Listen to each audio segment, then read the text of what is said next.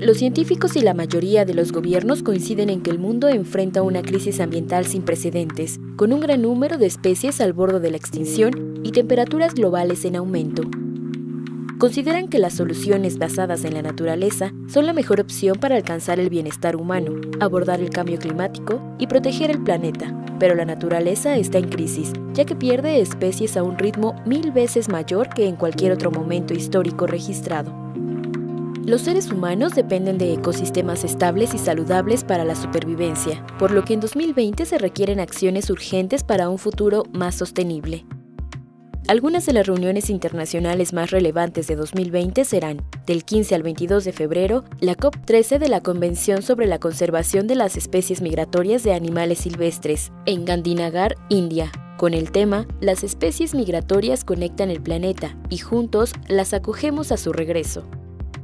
Del 23 al 28 de febrero, el Foro Mundial sobre Biodiversidad en Davos, Suiza.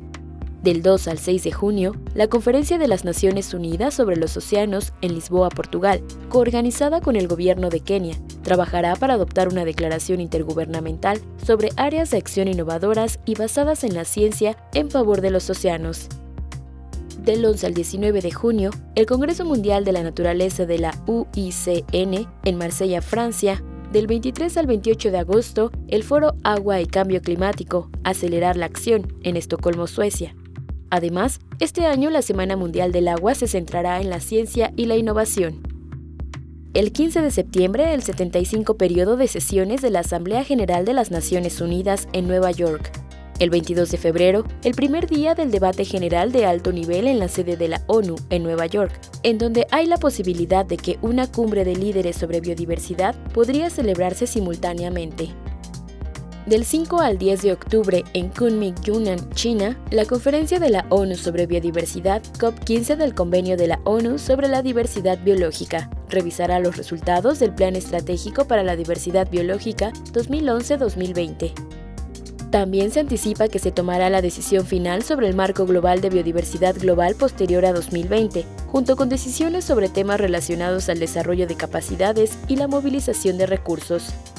Del 9 al 20 de noviembre, en Glasgow, Escocia, Reino Unido, se hará la conferencia de las partes de la Convención Marco de las Naciones Unidas sobre Cambio Climático 2020, COP26.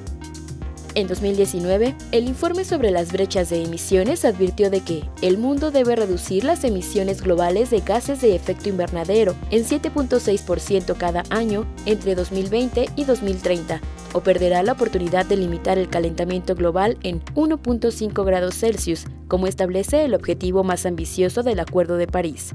En 2020 los países deben renovar sus compromisos registrados bajo el Acuerdo de París y presentar medidas climáticas más ambiciosas, pues las actuales llevarían a un aumento de temperatura de 3.2 grados Celsius.